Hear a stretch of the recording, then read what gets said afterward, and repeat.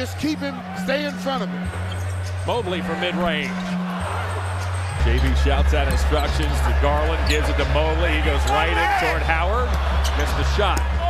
Garland has his head up, works around Reaves, right down the lane, puts it up. Reaves recovers and makes the rejection. Last five seasons as a Wizard, as Reaves looks to clear himself, dumps off to Howard. Just 16 minutes, going a crisp six of seven from the field. Along with LeBron James on that Laker front line. There's Howard inside. Howard lays it in. Garland has 10 points, 10 assists. Another point assist, double double. Mobley inside. Westbrook working on a Coro. Finds Gabriel. Gabriel from the corner right in front of the Cavalier bench. Howard outduels Markkanen.